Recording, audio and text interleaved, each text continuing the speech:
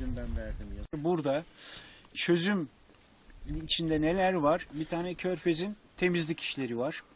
İkincisi yalancı boğaz arıtma sistemlerinin yenilenmesi ve bakanlık genelgesine göre yapılması var ki bunların hepsi bizde var belgeler. Ee, ve üçüncüsü de gene Muğla e, Üniversitesi ile dekanlığıyla yapacak olacağımız buraya bir balık popülasyonunu arttırıcı e, resif atma işlemi var. Bu işlemler görüşmelerimiz çerçevesinde bu tekneyle, bu e, ekiple yapılacak ve bu projenin nasıl yapılacağı, ne kadar maliyete mal olacağı hepsi projeler hazırlandı. Biz bugün bu alanın e, keşif çalışmasını yapıyor arkadaşlar. Yani nerelerde ne çalışılacak, ne yapılacak onların e, araştırmasını yapıyorlar.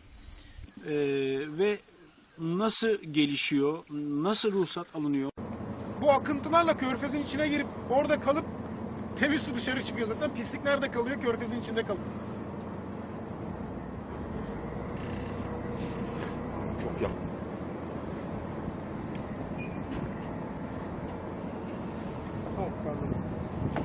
Bugün de Yalancı Boğaz'a geldik. Siz de gördünüz. Gerek teknolojik olarak gerek yapı olarak e, mesafe ve derinlik olarak e, pek uygun değil. E, Ve dolayısıyla da bu kir inşallah bu yaz Marmaris Körfezi'ne ve Kumlubük'e filan geçen sene başladı zaten akıntıyla gelmeye. Bu sene bunları önlemek lazım. Bir gölge yapın bir de.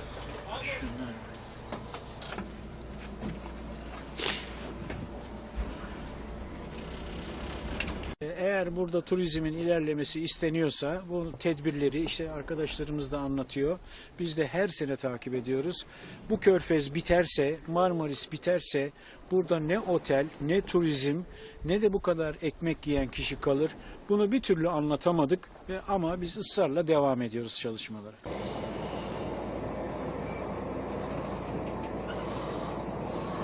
En az 850 bin metre olması mesafe kıyıdan olması gerekiyor bize bildirilenlere göre ve projeye göre e, ve 40 metre derinlikte olması lazım ki e, körfez içindeki akıntıyla boru uçları birleşip dışarıya atsın bu pisliği. Fakat e, yapılan ölçümlere göre 150-200 metrelik bir mesafesi var bunun ve 16-17 metre derinlik var. Zaten siz de gördünüz artık suyun üstünden bile atıklar görünüyor.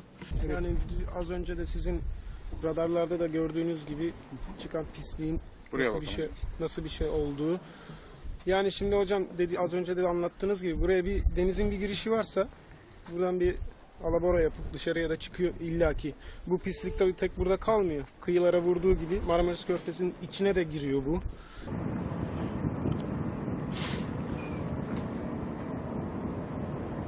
Buradan çıkan pislik burada kalmıyor. Her yere yayılıyor. Deniz öyle bir şeydir ki hiçbir pisliği içinde barındırmaz. En ufak bir çöp bile atsanız dışarıya vurur.